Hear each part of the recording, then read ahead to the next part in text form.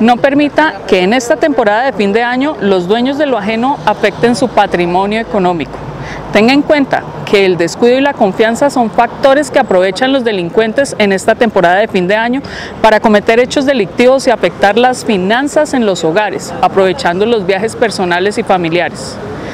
mediante el fortalecimiento de la red de participación cívica y en la ejecución permanente del plan en Navidad siempre presentes, la Policía Nacional en Caldas logró en una rápida acción la captura en flagrancia de cuatro personas presuntamente dedicadas al hurto de residencias.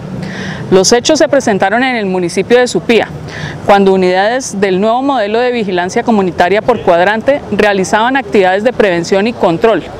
momentos en los cuales reciben una llamada oportuna de la red de participación cívica donde informan de un vehículo Chevrolet Spar de color gris, de placas de la ciudad de Pereira, el cual se encontraba rondando de manera sospechosa el barrio popular de este municipio, bajándose en repetidas ocasiones del automotor y observando las residencias. De inmediato los uniformados interceptan el vehículo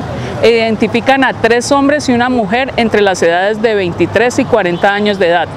Al practicarle el registro de personas, uno de los sujetos deja al interior del carro una palanca metálica usada en ocasiones para abrir puertas.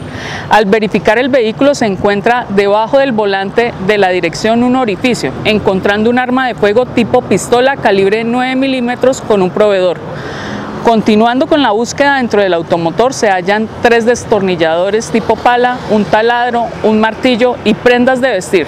Se logra establecer que estos sujetos residen en la ciudad de Pereira y al parecer pretendían cometer hurtos a las residencias del municipio.